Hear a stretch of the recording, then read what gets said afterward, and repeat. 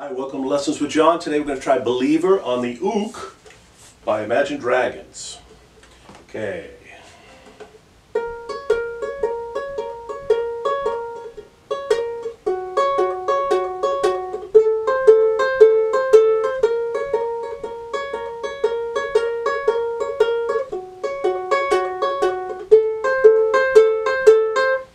And it runs through the song. And that's it. So what I'm doing here is I'm holding down the first string fourth fret, the second string sixth fret. I'm going to hit this uh, eight times. Well, let's see, two, three, four, yeah, eight times. So I'm gonna I'm gonna go like this. I'm gonna hit the second string with my thumb and go back and forth between the second string and the first string. So I'm just using my thumb and then my middle, going back and forth like finger picking.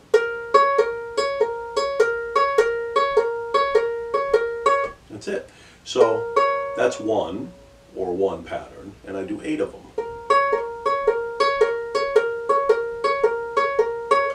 Then I'm going to go to the second string, second fret, and the first string, fourth fret, so it's kind of backwards here.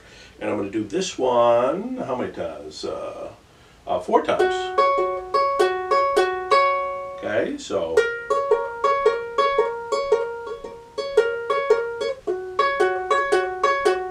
Now I'm going to reverse that shape and I'm going to go to the first string third fret and the second string fifth fret and do that four times.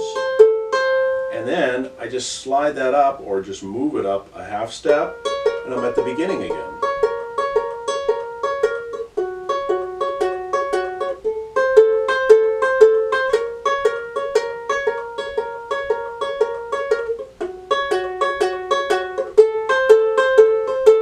That's it. It runs through the song. And that's all there is to it. I wish it was more. There's not. Uh, hit the like button. Please subscribe and play more Uke.